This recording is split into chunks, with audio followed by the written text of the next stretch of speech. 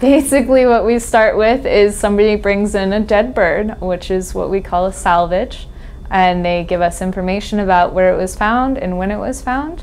And then we start the process of actually preparing the bird by looking at the outside of the bird. So we're looking for if there's feather molt, if the bird had parasites, if the bird was bigger or smaller than it should be for that species. So we take certain types of measurements. And what we're doing is we're pretty much a stockpile of information. So the more specimens we have, the more information we hold for researchers who may be studying a certain species or even for students who may have an interest in drawing a certain species and all the differences within that species.